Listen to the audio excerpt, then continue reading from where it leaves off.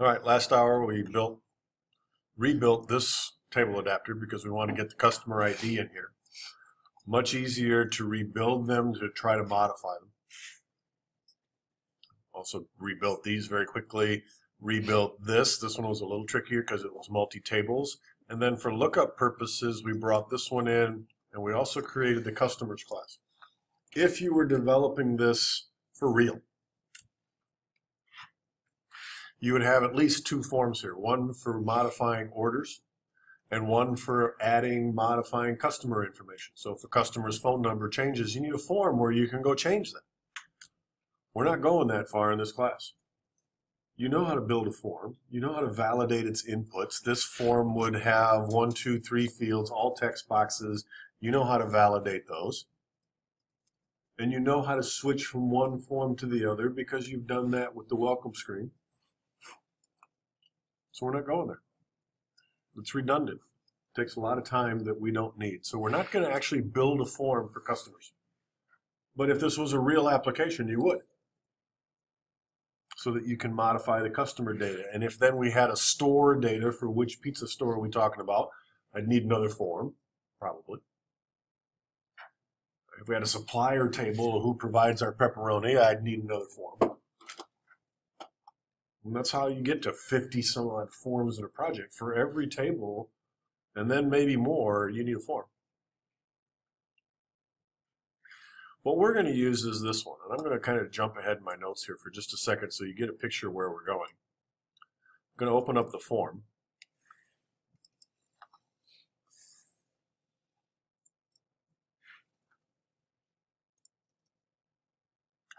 And I have a problem.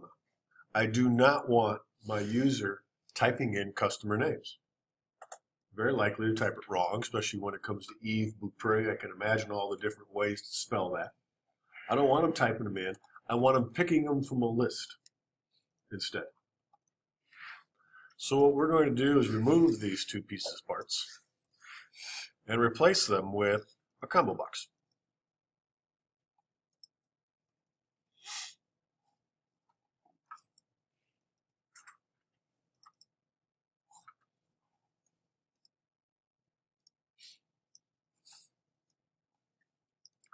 I could have hundreds, thousands of customers.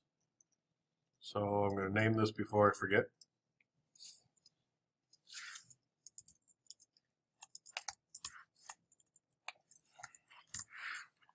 Could have hundreds of thousands of customers, so I want to do the autocomplete mode of suggest append from the list. That way I type a couple letters, customer name comes in. Probably should tweak my tab order now that I've messed that all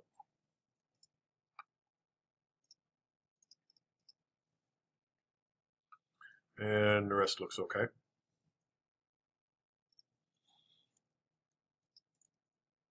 But now how do I fill this?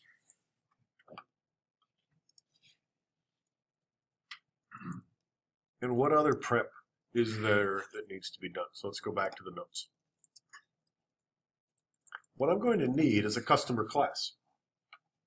Because when I ask to do a lookup, I can't go to the database. I can't, from my form, say, go to the database and give me the customers that I need and put them in this combo box. I'm bypassing my class. By bypassing the business class. Not a good idea. Remember where our order lookup is? It's in the orders class. So the next thing we're going to need, this is where we're going. The next thing we're going to need to support us is a new class. So now we're going to have our first project with more than one class in it. And again, for every table, there's typically a class. One at a time. Build them, test them, move on. Kind of see, thinking agile, what form do I need first to get anything done at all? And then what next form? And then to build a class to go with it and so on. You can see where Agile, when we prioritize these things, we can say, yeah, I can build that form. I'm trained by Volker. It shouldn't take me more than a week. Build that form, all the validation, etc. Test it. Done. The next sprint, pick a different one. Very possible. So I need a new class To add a new object, we use the second button. And there's an option here for class that makes it easy. Add a new class to my project. What do you want to call this? CLS customer. Make sure it's got class selected. It does. You can put the .cs back on there, but Visual Studio will do it. Or be smart and never take it off in the first place.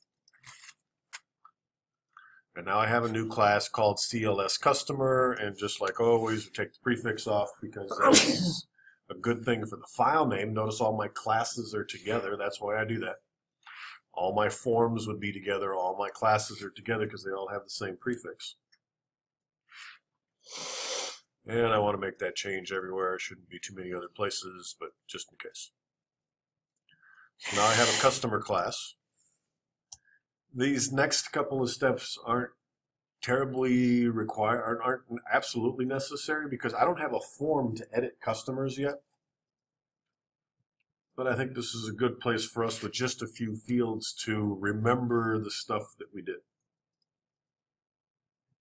I'm not going to go crazy with validation. When you build your Unit 4 projects, you'll be required to put the properties in here just to get some more experience, but you don't have to add any validation to those properties unless you want to. So I want to add a new property, and let's see, that's prop full, right? Tab, tab.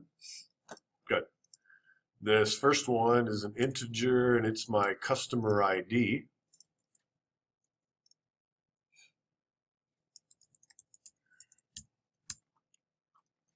Property name, customer ID and it's read-only, so I don't want to set it.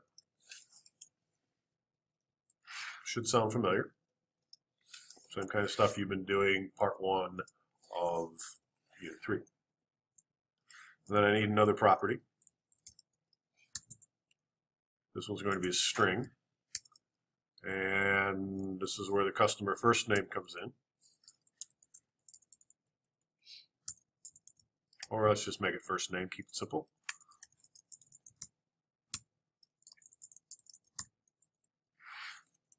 done.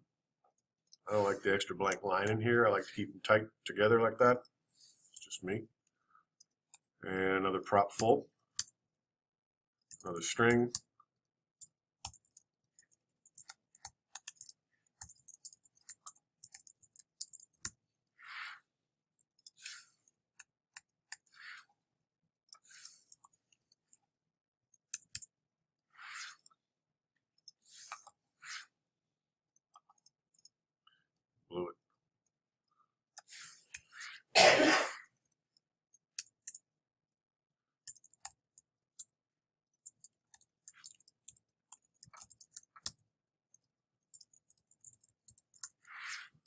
Now I have a basic class.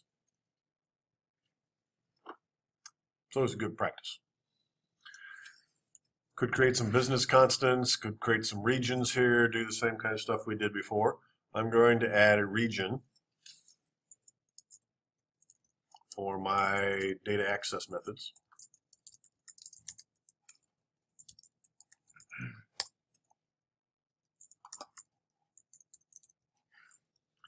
And the first method I'm going to create in here is my customer lookup.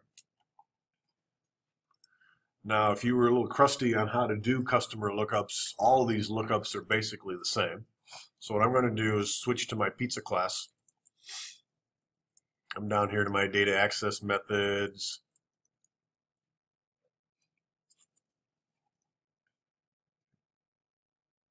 Get record. Notice there's a bunch of errors in here left over from customer first names and stuff. We're going to have to clean that up. Save record, what am I looking for? There it is, the lookup. Copy it, switch back to the customer class, and paste it. This method reads to look up customers. Query DS orders, query customer lookup data table. Just change everything. Or retype it. DS orders, table adapters, query customer. Customer. Done. Notice how similar all these lookups are. Just change the name of the tables. Then go out and fill the TA with all of the information for all of the customers and return.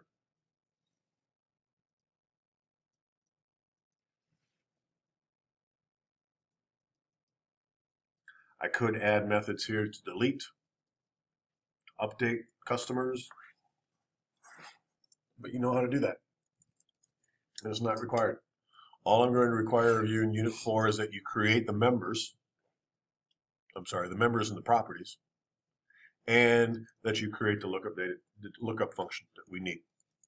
The rest of it you can add later. When you build a form, you can modify this and go in and start putting validation in here and saying that the phone number can't be blank or the last name can't be blank and capitalize it. All that stuff that you already know how to do. I'm not going to cover it again. You're not required to do it in Unit 4 either. So we built a class.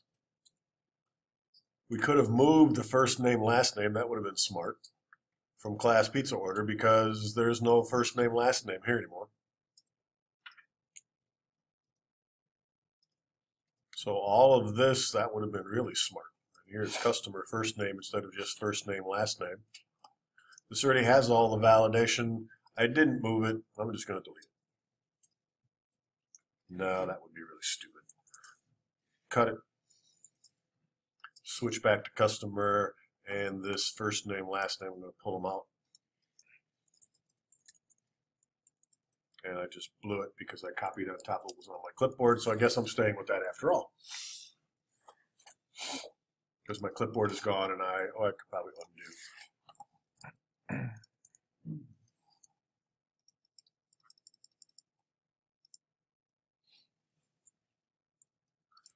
Okay, one more time. Cut. Paste. There we go.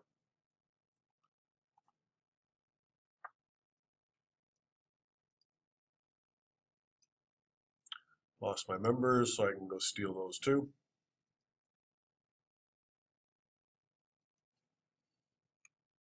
Oh, I just missed one, so.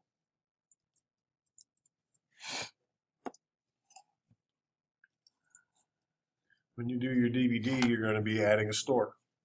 You already have a store property. So you could steal that, whatever validation it has, and put it in the new store class. You're doing car maintenance, you've got a shop. Steal the logic for that, put it in the new shop class. The thing I don't have is my get max first name length.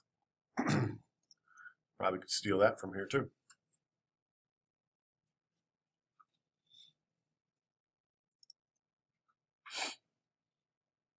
These no longer apply to the pizza order. Why would the pizza order have a maximum customer name length? It doesn't. The customer class does, and this is also part of what we'll be learning in systems class, and you'll be learning in systems class, all of you.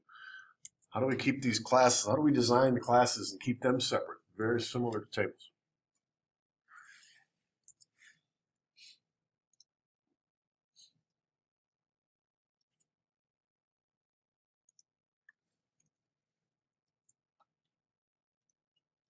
Get the first customer first name column. I don't think it's got a customer in it anymore.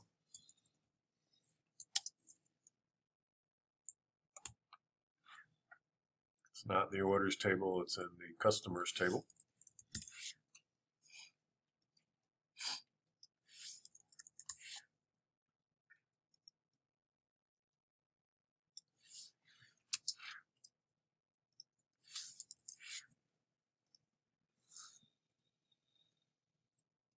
Was having trouble with this one.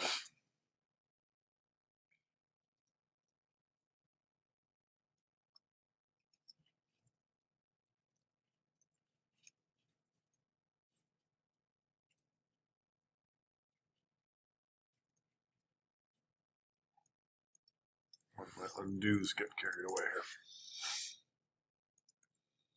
All right, so I've some transferred some stuff that used to be in my orders table is now in my uh, my orders class. It's now in my customers class. So if I ever do build a form, since I already wrote this once, if I ever do build a form that allows me to collect customer data, I already have functions to make sure they're not too long. Goes into the database and gets me the length. I already have the properties for everything that's in my database. Need to add some validation to the phone. I'll leave that for some other day. Now that we've taken those out though, we have to replace them with the customer ID because remember from the XSD, this table no longer has a customer name, it has a customer ID. So my pizza class needs a customer ID.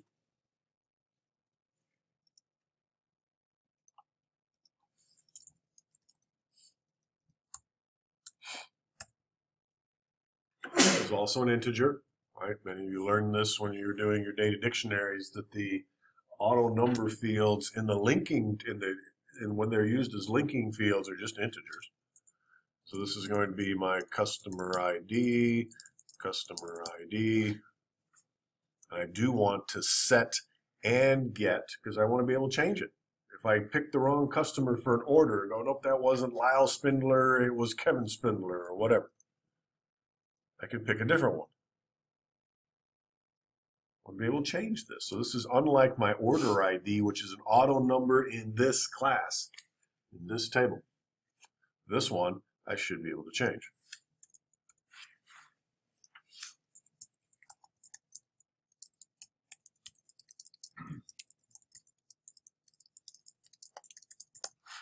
Is there any validation I can do here?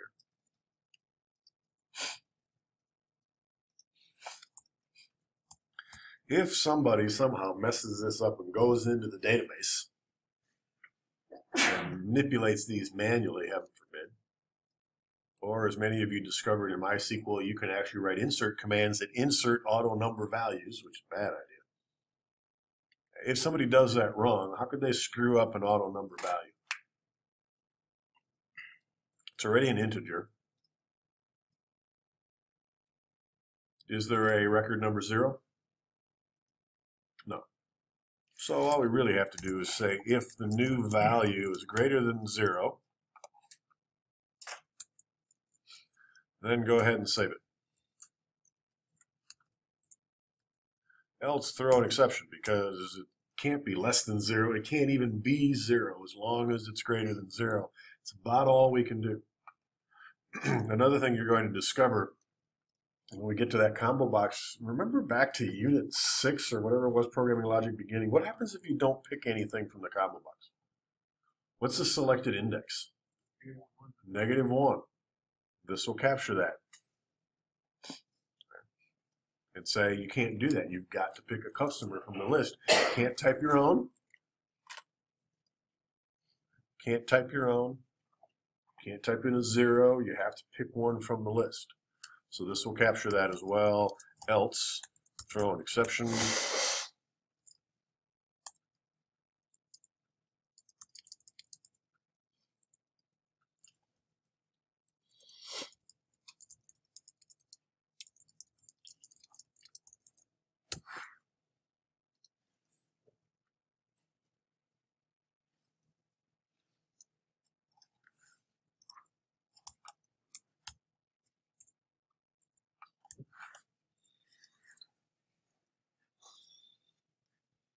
That's about all the validation you can do on a lookup field.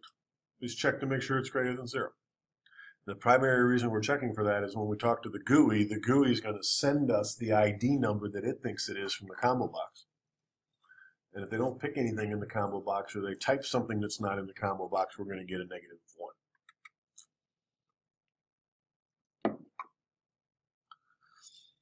So again, review. We took all the fields out of here, customer first name, customer last name, that we didn't need and moved them to the customer class. And then we added our linking field to the order class so that we can save the current pizza or customer ID number for this order. Need a place to put that. Now that we've done that, let's do a collapse here and see what else. Any business constants that don't make any sense anymore? Anything here with names? No. So that's cool. Now, many of you might have, I don't know if that's the case in um, car maintenance, isn't there an array of valid shops? Don't need it anymore because it's in a separate table. We don't want to keep, we don't have to keep both up. Every time we add a shop to the table, we're going to add one to the array. So you take that array out. What's going to happen instead is you're going to fill a combo box of shops from the database. Pick one of these. And DVD stores, I don't think is validated. But if you have an array here that you no longer need because of the new table, make sure you pull the array out. In my case here, I didn't have a list of valid customers, so there's nothing to remove. We cleaned up the properties. The constructor's probably going to need a little work. Yep. So what do we want to set the customer ID number to? No? Sure. It's an integer. We've been setting all of our integers to null, except these. That's interesting. Why are they zero?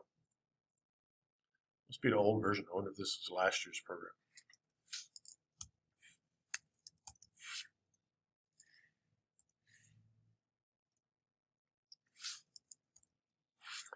Did I make it nullable?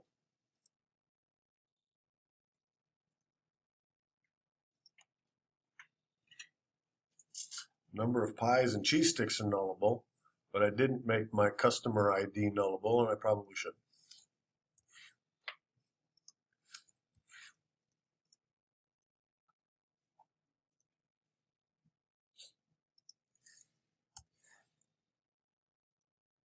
So that works. This is just an extra one. Still has first name, last name. That one doesn't apply anymore, so I'm going to pull it. This one accepted a customer's first name and last name and said, make a new pizza order for that customer by name. That's a lot tougher to do. Can we do it? Yeah, but not in this class. Remember, it's programming. Unless you're asking it to read your mind, there's probably a way to do it. Invalid fields. Uh oh If the customer ID is null, then say you must select a customer. So remember, this is, I'm, I'm walking through the form. The user clicks on the order date and goes, save. They haven't picked a customer yet. That's not good. There is no first and last name, and they have to pick a size for the pizza. Remember, in invalid fields, all you're checking is whether the required fields, customer, size, are missing. That's all we need. Make string from array, it's probably got some issues in it. Nope. Order total, nope. toString.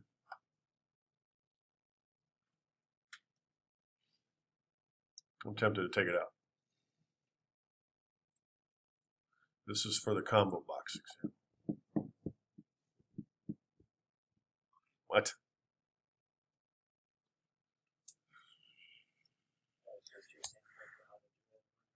Okay, toString is supposed to concatenate all this stuff, so I'm going to bring this back again. But there is no first name, there is no last name, but there is a customer ID, and it's just going to be this gross looking number stuck in the middle of everything. But I can look at it. I expect there to be an ID number after the date. Some of you have been putting spaces or dots or dashes or slashes in between all this stuff. That's fine. When I see the date for the pizza order and I see 4 slash 7 slash 2014 6, I can figure that out. The 6 is the customer ID. If the numbers are too squished together, then absolutely just put some spaces in between. Nothing wrong with that. If you're using toString for testing. It's the only reason you'd need this. Okay, now my data access methods. Anything exciting here? Delete a record? No. Get a record? Probably. Order lookup? No. But wait a minute, didn't I have to concat? Yeah, but that's all being done in the data class.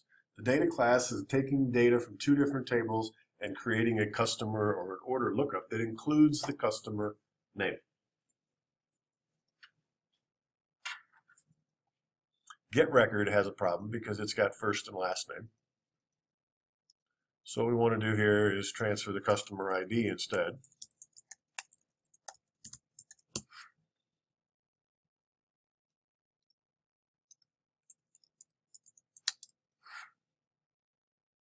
There's no last name. Where do we save the name? We don't. When we get a new pizza order for Lyle Spindler, we save the number, 77. Not his name. His name is never saved in the order record at all. What if the customer's not on the list? Oh, programming logic advanced. Not really. You just create a button or a link that says new customer, and when you click on new customer, it takes you to the customer form. And you add a new customer to your database. Then you come back and you pick them from the combo box. In order for an order to be placed, the customer already has to exist. If the customer doesn't exist, we can't place an order. That's the child. We can't have a child for a parent record that doesn't exist. and so you have to add logic to your project, and you don't in this class. Programming Logic Advanced, which we don't have yet. Programming Logic Advanced, that's where you would start finding ways to tie these forms together to link them somehow. So that cleans get record up. We now have to do the same thing with save record. Could the customer ID still be null when we're, when we're done? No. So the only thing we have to transfer to the business class is the customer ID, and I hope this is the right location. If it's not, I'll get squiggles. It's the right location. It'll never be null.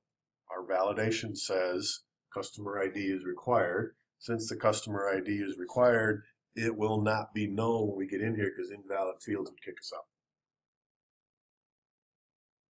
But instead of saving the customer's name, or instead of updating the customer's name, we update the customer ID.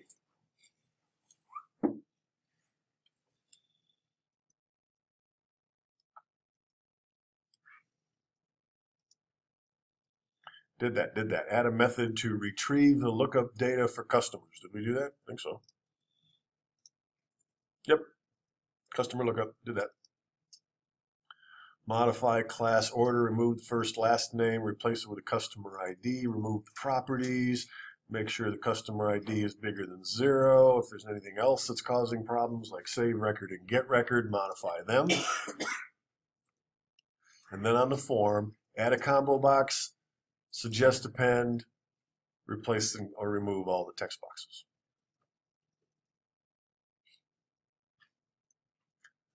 Now comes the cool part.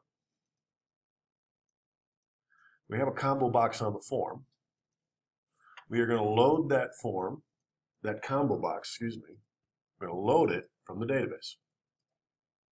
And so all the names are going to show up in the combo box from the database. How do we get out of database? Our trusty dusty query customer lookup table function. This, this gets me a list of all the customers sorted by customer name. It already does it. So we need to call this method from the GUI, say, please go get me the list, take the list, throw it in the combo box. Okay. Except for one thing. This query returns two things, the ID and the customer name. Right? The ID and the customer name. What do I do with the ID? We need them both. We want the user to see customer names in the combo box when they drop it down. But magically behind the scenes, what you and I want to do is change or translate the customer's name into their ID number. And when we leave the combo box, we take the ID number and we put it in the business class, not the name, the ID number. So we're still using a validating event. But when the user picks something out of that combo box, we want to transfer the ID number to the business class, not the name. How do we do that? Magic.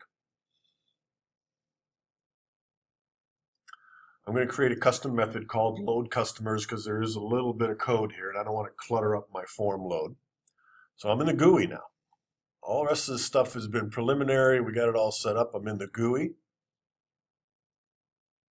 In form load, I want to load sodas, but I also want to load my customers. So I'm creating a method, my own custom method. So down here we go find the load methods. Let's collapse so we can see what's going on here. Load sodas, load grid. Here's where it goes. This method gets the current list of customers and their IDs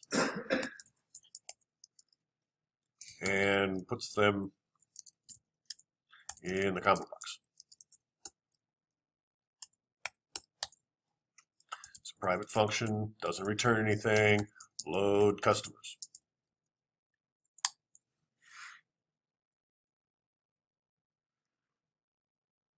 What do we do with that? Look in the notes. We called load from there. The combo box, remember our binding source? I know it's been a couple of weeks, so let's review. Here's my binding source down here. That's got the copy of the data that goes into the grid. It had a data source. A combo box can, we've never done this, but can also have a data source. Where do I get the data for my combo box? I ask the business class to give me some data and throw it in there. One simple line. The combo box's data source is equal to my lookup table from the business class. So this says, hey, you business class, give me the lookup data, please. Sends it, links it to the combo box. Way too simple. You guys are so lucky. So in here, I want to say that my CMB source is equal to my business class, which is customer dot customer lookup table. Give me one. Business class knows how to do this, right? It's magic, but the business class knows how to go out to the database and get customer lookup data. Talks to the XSD, the XSD goes to the database, etc. This gives me a data table, which I can then link to the combo box. Maybe it's that simple to start with. Let's find out. I want to see if I get customers in there. Grinding, grinding, grinding. No. Class pizza still got a problem. Forgot a semicolon here. Oops.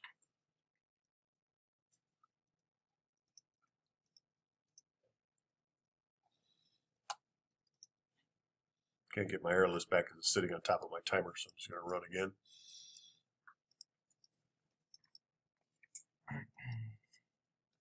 Semicolon. Sounds like my GUI, the rest of those errors are because my GUI still has a bunch of errors right here. Those are typos. Somewhere like in load form, it talks about combo box display record. There we go. Display record talks about text boxes. They don't exist anymore. I deleted them. Darn it. So I need to put something in here. CMB customer dot what? Let's leave that out for right now. I just want to see if the stuff loaded in there. So I got to get rid of these errors. There might be one in button save. Probably not. Oops. Yep, gonna have to fix that.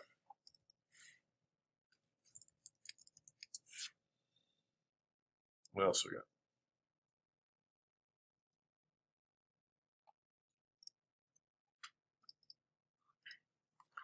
Little red marks aren't much help, are they? Pink ones are squiggles.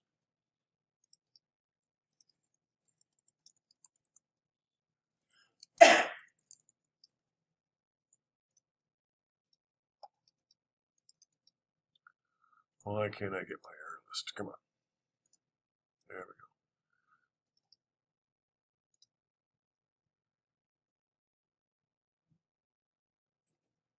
problem's fixed? Can you still complain about it?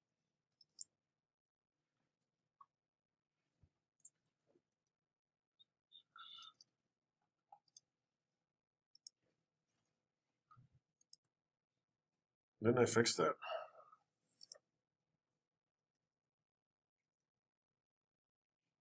Thought I did.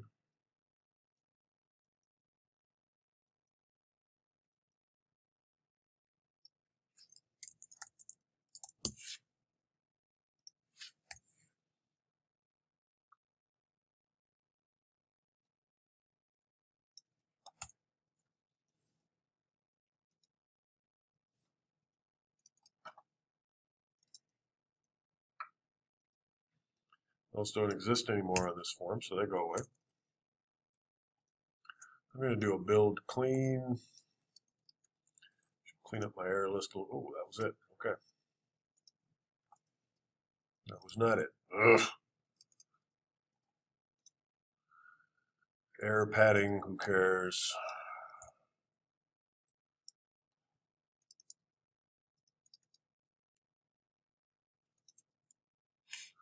First name, last name validating. We will have a CMB validating before we're done.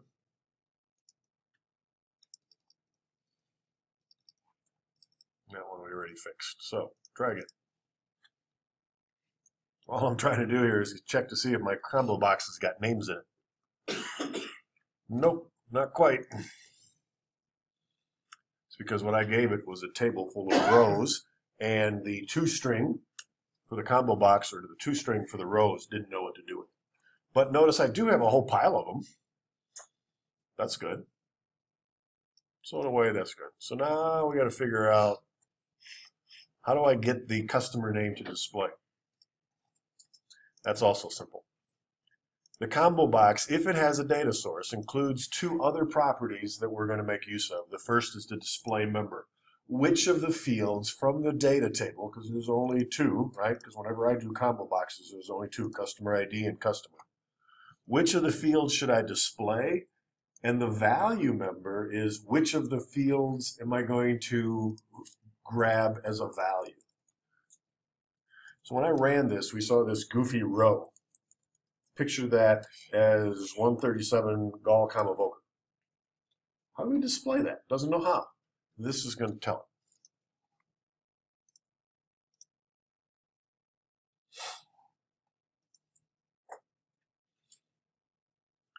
The two other pieces we're missing here is the display member CMB customer dot display member equals in quotation marks the name of the field that you want displayed.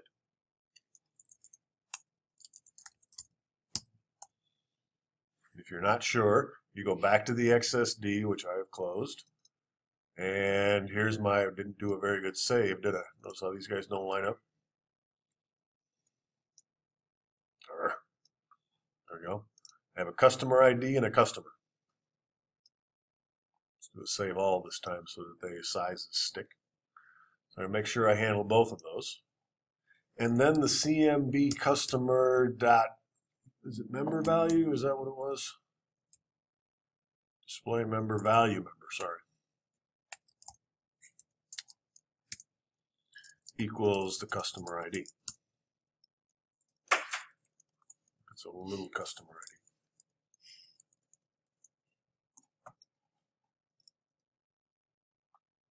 Capital D. Is it going to make a difference?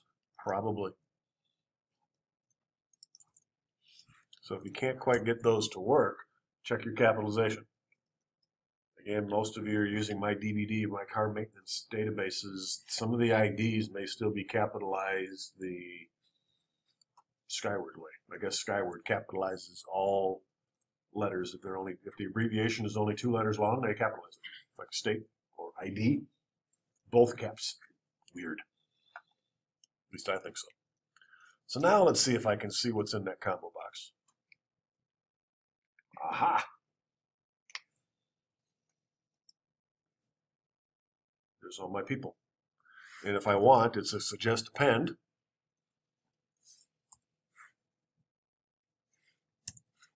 I can pick it. In two minutes, I think I can pull this off. I need a validating event.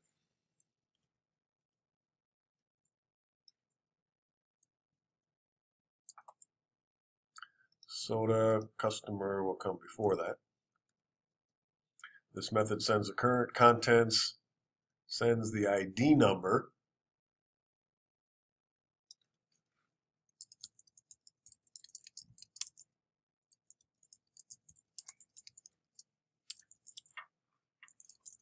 to the business class. An error could occur because if they haven't picked one, remember we wrote logic that says if it's negative one or zero, that's not good. So now just change all the names to protect the guilty, customer and order customer ID equals CMB. Oh, what do we put in here? It's not the text, that's the customer's name. How do I get at that value member? You might want to put value member in here, but that's not right. That's the name of the field whose value we're saving. What we really want is the value itself. And I forget which property is, so going to look it up. It is the selected value. Oh.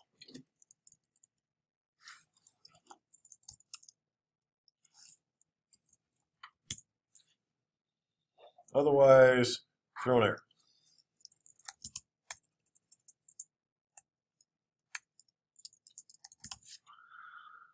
Uh, this could be any type. We know it's an integer, so we're going to typecast that to an int. Is that the right language? Yes. The selected value could be text. We're using ID numbers, almost always do. Yours for your project will be integers, so you convert them. And now I'm going to put a breakpoint in here because I want to show you what happens, and then we're going to quit. CMB already see oops. CMB customer validating. And I can't simply type this, I have to wire it. Never did that. So I stole some code, but I need to wire that to my combo box now on the selected index changed event. That's the one we were using for combo boxes. For CMB, uh oh maybe that wasn't too smart.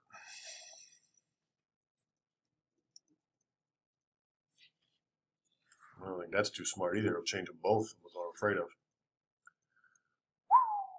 Okay.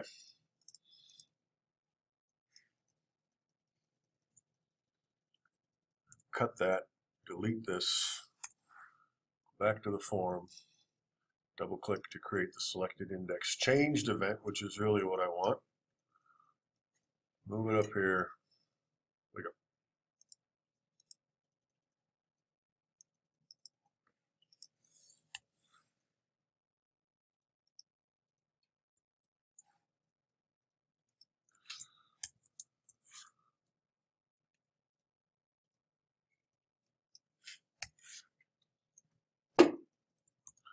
Fingers crossed. Lost my, oh, still doesn't like that. That'll go away. Here's my breakpoint. That's the one I want to see. What's that selected value?